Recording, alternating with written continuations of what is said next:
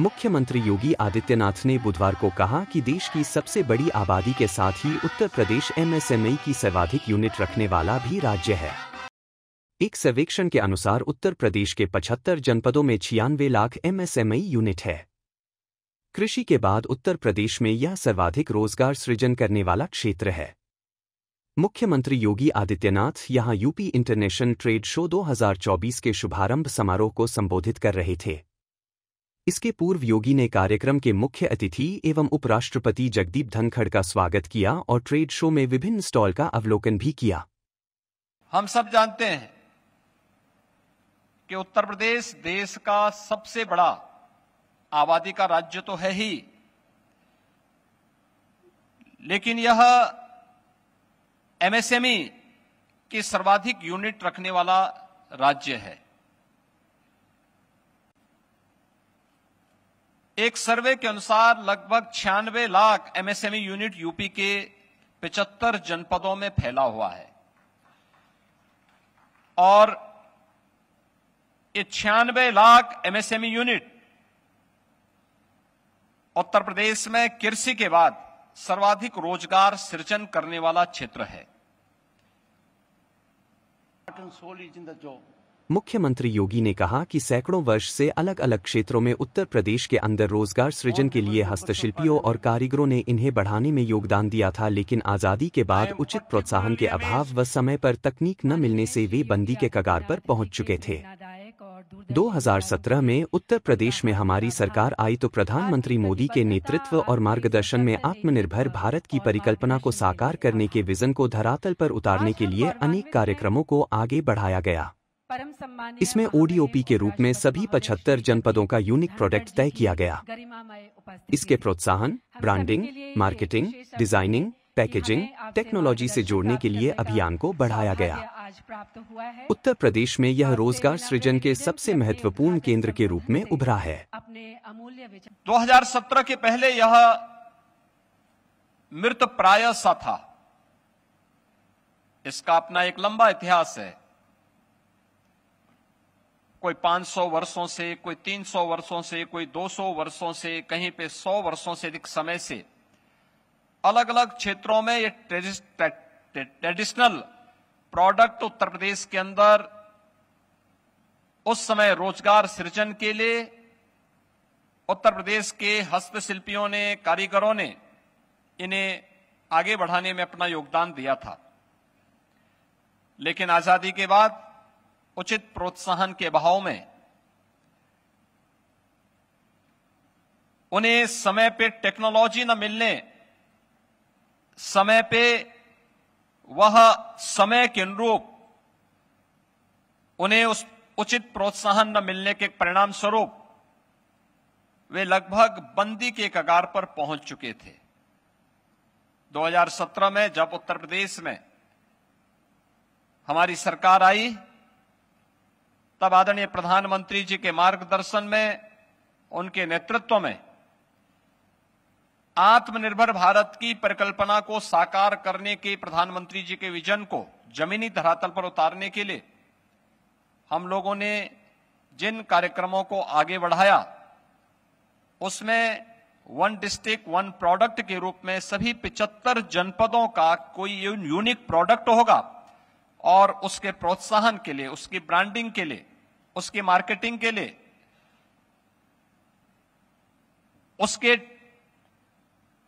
Techno उसे technology से जोड़ने के लिए, उसकी डिज़ाइनिंग के लिए, उसकी पैकेजिंग के लिए, हम लोगों ने जिस अभियान को आगे बढ़ाया, वही आज देश के अंदर ओडीओपी के रूप में वन डिस्ट्रिक्ट वन प्रोडक्ट के रूप में देश के अंदर, दुनिया के अंदर जाना जा रहा है। और आज इसने उत्तर प्रदेश में रोज़गार सृजन के सबसे बड़े महत्वपूर्ण केंद्र के रूप में उभरा है। मुख्यमंत्री ने कहा कि कोरोना के दौरान उत्तर प्रदेश के श्रमिक अलग अलग राज्यों में कार्य कर रहे थे। उनके सामने आजीविका का भीषण संकट खड़ा हुआ था। इन्हें लेकर देश चिंतित था लेकिन मैं निश्चिंत था कि उत्तर प्रदेश में इतना पोटेंशियल है कि 40 लाख नहीं चार करोड़ लोग भी आएँगे तो उत्तर प्रदेश इन्हें जगह देगा। उत्तर प्रदेश में प्रवेश करते ही सभी 40 लाख कामगारों की स्किल मैपिंग कराई गई और हर जनपद को इसका डाटा उपलब्ध कराने के साथ संबंधित यूनिट में कार्य का ऑफ़ दिया गया। इन लोगों ने आकर उत्तर प्रदेश की अर्थव्यवस्था को मज़बूत किया। मुझे याद है जब उत्तर प्रदेश, देश और दुनिया इस सदी की सबसे बड़ी महामारी को कोविड 19 से जूझ रहा था। उस समय उत्तर प्रदेश के अंदर, उत्तर प्रदेश के जो कारीगर, जो श्रमिक देश के अलग अलग राज्यों में कार्य कर रहे थे, उनके सामने भीषण आजीविका का संकट खड़ा हुआ था। पूरे देश की चिंता थी कि इन लोगों का क्या होगा। लेकिन मैं निश्चिंत था, मैंने कहा, यूपी में इतना पोटेंशियल है ये 40 लाख नहीं, बल्कि चार करोड़ भी आएँगे। यूपी इन सबको अपने यहाँ जगह देगा, क्योंकि ये यूपी के हैं।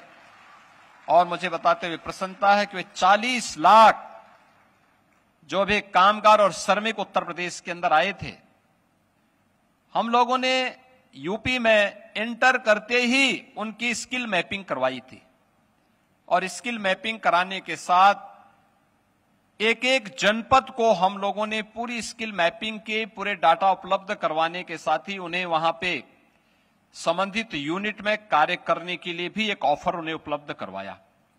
परिणाम था, कहीं भी कोई अव्यवस्था नहीं फैली, बल्कि उन लोगों ने आकर के उत्तर प्रदेश की अर्थव्यवस्था को एक पुष्ट दिया मुख्यमंत्री योगी ने कहा कि प्रधानमंत्री मोदी के मार्गदर्शन में भारत की अर्थव्यवस्था को पाँच ट्रिलियन डॉलर बनाने के अभियान के साथ ही यूपी को एक ट्रिलियन डॉलर की इकोनॉमी बनाने की दिशा में प्रदेश तेज़ी से बढ़ रहा है।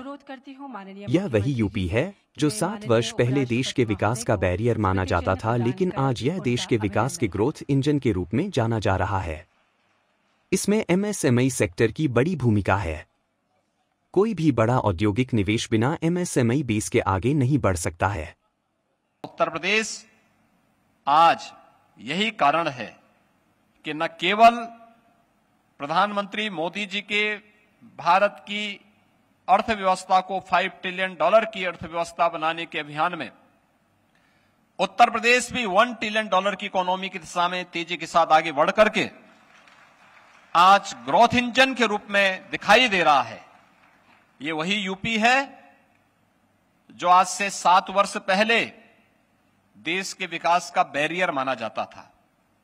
आज यह देश के विकास का एक ग्रोथ इंजन के रूप में जाना जा रहा है। इसमें एमएसएमई सेक्टर की एक बड़ी भूमिका है।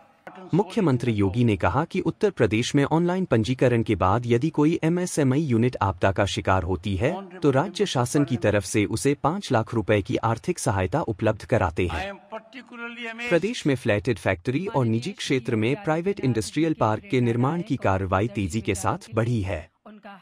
ओडीओपी योजना की सफलता के साथ ही उत्तर प्रदेश के पास सर्वाधिक पचहत्तर जीआई टैग हैं प्रोत्साहन के अभाव में जो उत्पाद दम तोड़ रहे थे आज उसे आगे बढ़ाने का कार्य हो रहा है। महामहिम उत्तर प्रदेश के अलग अलग सेक्टर में भी अनेक कार्य हुए हैं। उत्तर प्रदेश का जो प्रोडक्शन है उन्हें भी शोकेस का अवसर यूपीआईटीएस उपलब्ध करा रहा है। एमएसएमई यूनिट के लिए जो भी यूनिट यूपी के अंदर है उससे जुड़े उद्यमी के लिए हम लोगों ने मात्र रजिस्ट्रेशन पर ऑनलाइन रजिस्ट्रेशन करवाना है।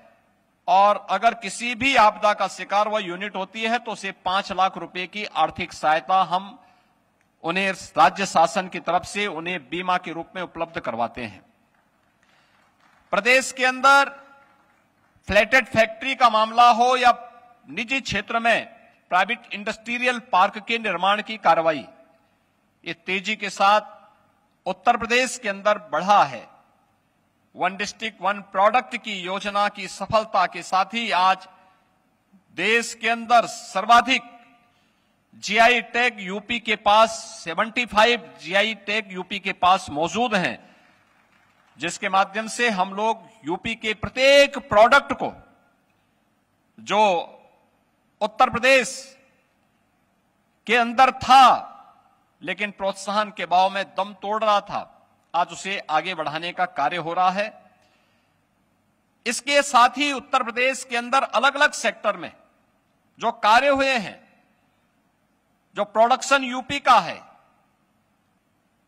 उन सबको भी शोकेस करने का एक अवसर यह इंटरनेशनल ट्रेड शो उपलब्ध करा रहा है। मुख्यमंत्री योगी ने कहा कि पाँच दिन तक जी दो जी जी दो बी समेत अनेक कार्यक्रम होंगे।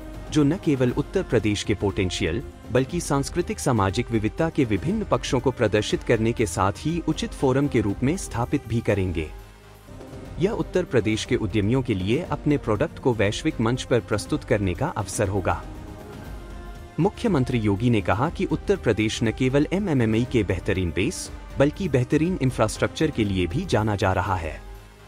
वर्तमान में यूपी में छह एक्सप्रेसवे कार्य कर रहे हैं सात पर कार्य चल रहा है।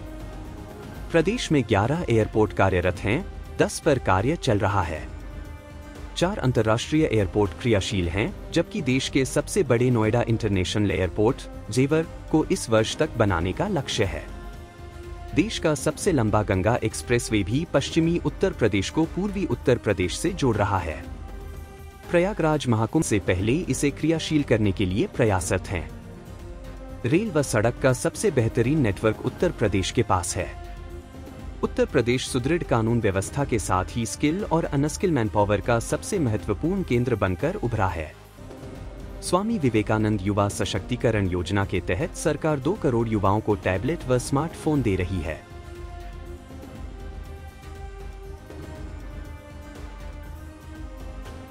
आज उत्तर प्रदेश, जैसा कि मैंने कहा आपको कि न केवल एमएसएमई के अपने बेहतरीन बेस के लिए जाना जा रहा है, बल्कि अपने बेहतरीन इंफ्रास्ट्रक्चर के लिए भी जाना जा रहा है। मौजूदा समय में हमारे पास सात एक्सप्रेसवे पूरी तरह कार्य कर रहे हैं। छह एक्सप्रेसवे पे वर्तमान में हम लोग कार्य कर रहे हैं। प्रदेश में वर्तमान में 11 एयरपोर्ट हमारे कार्यरत हैं। और 10 एयरपोर्ट पर हम लोग वर्तमान में कार्य कर रहे हैं, जिसमें चार इंटरनेशनल एयरपोर्ट वर्तमान में क्रियाशील हैं और देश का सबसे बड़ा international international airport, Noida international airport, इसी जनपद में, जेवर में बनकर के तैयार हो रहा है और इस वर्ष के अंत तक हम उसे बनाने का लक्ष्य रखते हैं। देश का सबसे बड़ा एक्सप्रेसवे गंगा एक्सप्रेसवे भी इसी पश्चिमी उत्तर प्रदेश को पूर्वी उत्तर प्रदेश से जोड़ने के लिए बन रहा है। इस वर्ष के अंत तक दिसंबर 2024 में प्रयागराज महाकुंभ 2025 के पूर्व इसको भी हम क्रियाशील करने के लिए युद्ध स्तर पर प्रयासरत हैं। आज प्रदेश में सड़क का और रेल का देश का सबसे बेहतरीन नेटवर्क हमारे पास मौजूद है।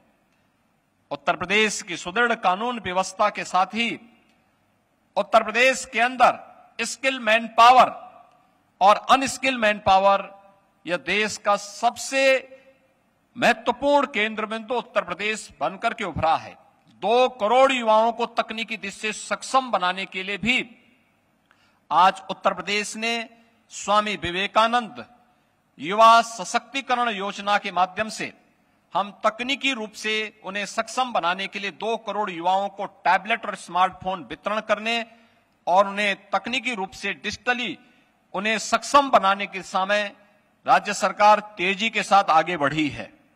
मुझे पूरा विश्वास है कि यह अगले पाँच दिनों तक चलने वाला यह इंटरनेशनल ट्रेड शो अपने प्रथम संस्करण की तर्ज पर उत्तर प्रदेश के प्रोडक्ट को, उत्तर प्रदेश के पोटेंशियल को, उत्तर प्रदेश की सांस्कृतिक विशेषता को और सामाजिक विविधता को वैश्विक मंच तक प्रस्तुत करने में सफल होगा। मुख्यमंत्री ने कहा कि पाँच दिन तक चलने वाला ट्रेड शो यूपी के उत्पाद पोटेंशियल सांस्कृतिक विशेषता व सामाजिक विविधता को वैश्विक मंच तक प्रस्तुत करने में सफल होगा।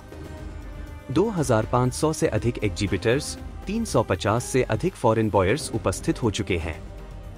पार्टनर कंट्री के रूप में वियतनाम के सहभागी बनने पर मुख्यमंत्री ने धन्यवाद ज्ञापित किया। मुख्यमंत्री ने वियतनाम के डेलीगेट से मुलाकात भी की।